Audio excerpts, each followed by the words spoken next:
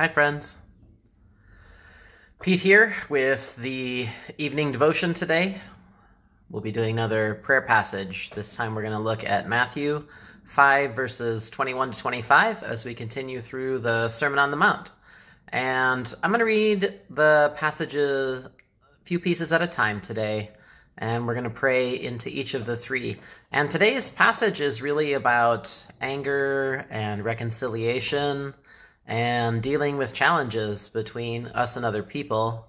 And I think it has a lot that's applicable to certainly community life, how we live together with each other, and also to how we behave as we're socially distanced and in our homes uh, for the foreseeable future. So, God, we just ask that you would meet us this evening, that you would come right now with the presence and love of your Holy Spirit, that you would be with us as we pray and read the Bible. And we ask, God, that you would use the words of Christ to set us even more free. Amen. So, Matthew 5, verses 21 and 22 says, and this is Jesus teaching, You've heard that our ancestors were told, You must not murder. If you commit murder, you are subject to judgment. But I say, if you are even angry with someone, you are subject to judgment. And if you call someone an idiot, you're in danger of being brought before the court. And if you curse someone, you are in danger of the fires of hell. Now, that's real strong language from Jesus. and what he's doing here, as he does quite often in the Sermon on the Mount, is taking Old Testament law that God really meant to change our hearts and he's getting to the heart of the issue. And he's saying, sure, the Ten Commandments say don't commit murder, but even when you're angry to people, even when you're angry at someone, you're subject to judgment. And it doesn't say here who the judgment is from, God or people. This happens a few times in Scripture. And uh, you know as well as I do, when you get really angry at someone, it becomes visible. You know, you have, maybe not quite like that, but you make faces, you breathe differently, you might get louder. There's all kind of ways people can tell when you're angry at them. And that's a way people get offended pretty quickly, is when you get real angry at them. It, uh, it doesn't seem to help most of the time. And then he says if you call someone an idiot, you might be brought before the court, but if you curse someone, you're in danger of the fires of hell. And so, what Jesus is saying is that sure, not committing murder is good. If you have not murdered anyone today, thumbs up. Nice job. But God actually cares about the condition of your heart, about being in a place where you're not quickly angry with people. There's a couple words for patience in the New Testament, and one of them is makrothumos, which means slow to anger, slow to boil over. And so Jesus is challenging us don't just not commit murder, but don't want to commit murder. Don't get so angry with people that you get carried away. And don't make moral judgments on people. The interpretation I've heard for the difference between calling someone idiot or saying to them, you fool, or cursing them is that when we call people names, you know, we're subject to earthly authority. But when we make moral judgments on people, when we call them a moral fool, we're subject to the judgment of God because God says that's his job, not ours. And so, what we see here is Jesus talking about anger and name calling and cursing. And I feel like uh, maybe Jesus has been looking into some homes during quarantine. I have three kids, and I am confident that there have been bouts of anger and name calling and cursing in my home over the last couple of weeks. And so, what is Jesus asking of us here? He's asking us to be people who say no to that way of life and who welcome a different way of life. I think the antidote to this is peace and patience. And so, what I'd like to do is consider your own heart and your own stress level, your own ways of coping.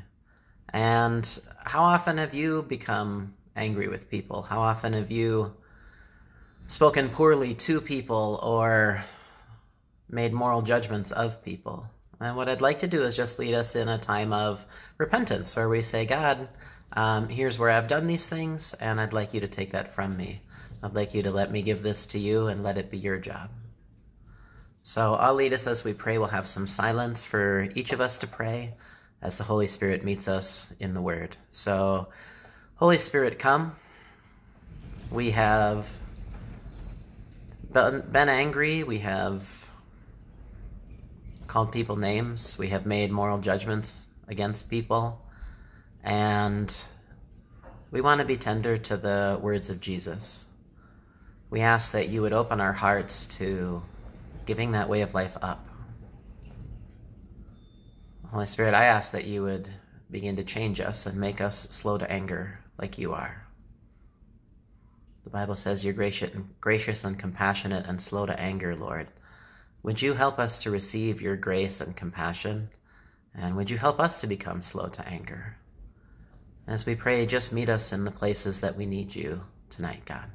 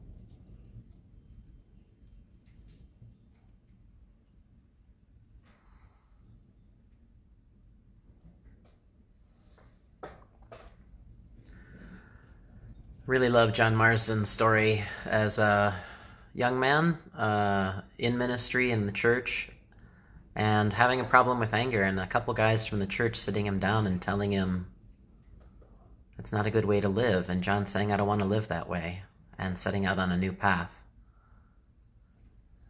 I think God has the answer to our anger and irritability and impatience. And I think that answer is found in Christ, the one who's challenging us to live that way in the first place. May the Holy Spirit meet you tonight and give you peace. Next are verses 23 and 24. Jesus says, So if you are presenting a sacrifice at the altar in the temple, and you suddenly remember that someone has something against you, leave your sacrifice there at the altar, go and be reconciled to that person then come and offer your sacrifice to God. And so this all takes place in the book of Matthew, which is written to Jewish Christians. And this is worship language. Uh, offering God a sacrifice at the altar is the language of worshiping God. And what Jesus is saying here is that people holding something against you is more important than entering into worship of God. And if you know that's going on, if you know someone has something against you, stop worshiping God right away, even if you're just in the middle or just getting started, and go make it right. Then come back and worship God. And I just think making amends quickly is a huge deal to Jesus and a huge deal in the Bible. And I want to lead us in prayer that we would treat relationships as worth as much as God does as worth as much as Jesus does. It's easy to have relationships be in a difficult place and maybe someone has something against us and to go on worshiping as if it's not there. The Minnesota way is to stuff those things down until they burst out at Thanksgiving or whenever. And Jesus is saying to have a clean slate with people insofar as it depends on you. And so I'd like to lead us in prayer that God would highlight for us anyone we need to be reconciled with. And one of the neat things about the season that we're in right now is if we reach out to someone in a safe and careful way electronically, that's to be expected because we're all in isolation anyway. And so I think some of the safer ways to begin attempts at reconciliation and making things right are more socially acceptable right now than ever. And so I want to encourage you if God puts someone on your heart as we pray, take a step after we're done with the devotion and reach out. So, Holy Spirit, we ask that you would call to mind anybody we know has something against us and that you would help us to set the record straight as much as we are able. We know, God, some of our relationships we can't fix. Some of our relationships we've worked on as best we can, and there's not a bridge yet. But for, you know, stuff that we haven't worked on, God, would you show us how we can take steps to be at peace with people? Be with us as we pray, God.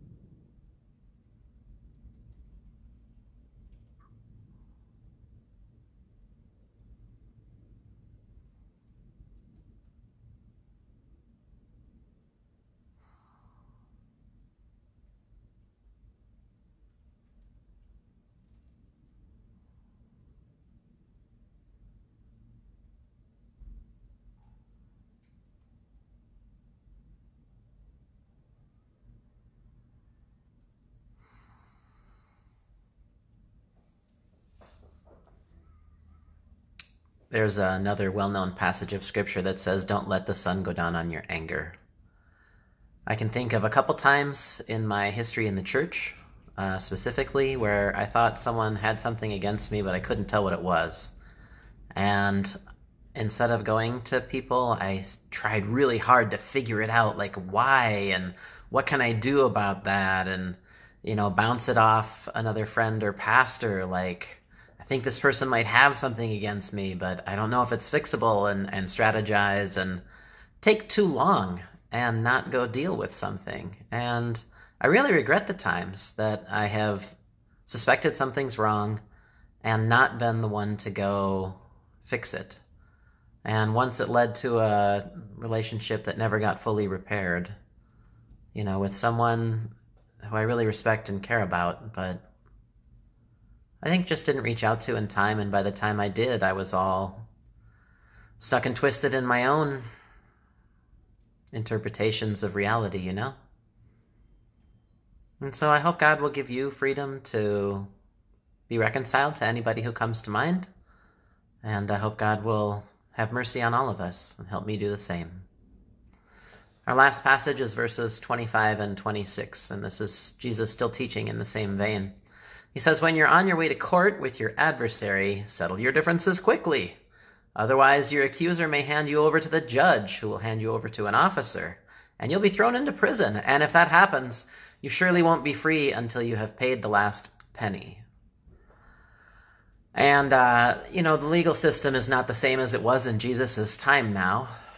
In Jesus' time, court was handled by testimony. There wasn't you know, DNA testing and evidentiary hearings and psychological experts. It was one person's word against another. And that's very often how life is. Uh, you know, maybe no one can prove what you've done, uh, but maybe someone knows. And what it's saying here is instead of going to a higher authority and arguing and fighting when you've been in the wrong, just settle your differences and admit it. This is a case where you're the one standing accused, and instead of fighting and protecting yourself and refusing to admit things because they can't be proven, just settle your differences quickly. And I think this is real applicable even without the same court system of Christ's time. When someone's implying that you've done something wrong, and maybe you have, and maybe it can't be proven, are you willing to just accept it and apologize? I think what Jesus is challenging us to here is accept when we've done wrong and admit it, and accept the consequences. I think of a time, I think in the first year that I was associate pastor at River Heights Vineyard, and uh, you know, one of the pastors had preached quite a bit over our allotted amount of time a couple weeks in a row, and then went on a trip, and I wound up. I think doing announcements and in announcements I referenced like, hey, I think the sermon will be shorter this week and I think I did it in a way that wasn't entirely honorable. And when he got back in town, my boss sat me down and said, I heard you had something to say, you know, during announcements that didn't sound entirely honoring. And I thought, oh no, that's not who I want to be and how I want to act. And I apologized. And maybe 12 years later, my boss told me that that was a real big moment in him trusting me and that you know he thought we might not be able to keep working together as a result of him talking to me about this and i just think if i wasn't able to admit when i'm wrong how much would i have missed out on there and how much have i missed out on times when i wasn't able to admit i was wrong and so what i'd like to pray is that God would grow us in being able to admit when we're wrong and accept the consequences and then be forgiven and clean. That's the neat thing in Christianity is that when we repent, we are forgiven immediately, always, covered by Christ's work. And so there's no like spiritual penalty to admitting our failures. We're forgiven that by Christ. And so, Jesus, I ask you, would you help all of us to accept when we've done wrong, to admit it, to take the consequences, and then to know we're free and clear. Be with us as we pray, God.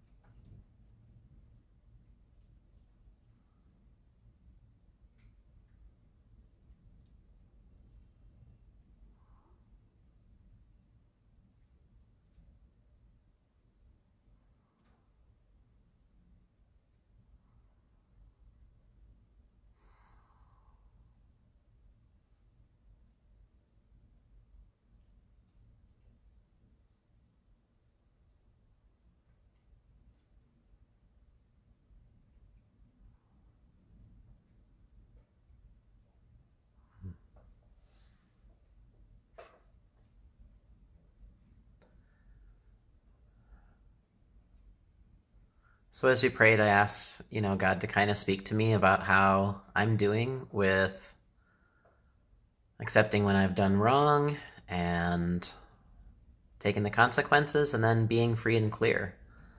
And I felt some peace about that. And then God pointed out when people get upset at me and I feel like the reason they're upset at me is unjust, I do not let go as easily. I always want people to admit yeah, I was wrong to get upset at you, as if. I mean, that's not very smart on my part, and it doesn't work out very well most of the time. But that's a thing that's in my heart sometimes. And I felt like God was saying, you know, when people have done wrong, uh, let them get to the free and clear and let me handle it. And so I think really a lot of what Jesus is saying in this passage is that you know, the Old Testament law about not murdering each other is great, but God wants to come into our lives all the way down into our heart. He wants to set us free from the kind of anger that leads to murder. He wants to set us free from being people who dodge responsibility, people who, you know, want to go worship God but don't want to make things right with other people. And so I think there's a lot of beauty in this passage for us as a community. As we work these things out long and slow, wherever you are on the journey, we get to be a people who learn how to do this over time. And one day we're going to get there and we're going to get to do this forever. I love you, friends. May God bless you and keep you and make his face shine on you. May, may God be gracious to you and give you peace now and forevermore. I miss you. I can't wait to be together. Hopefully soon, God willing. Goodbye, friends.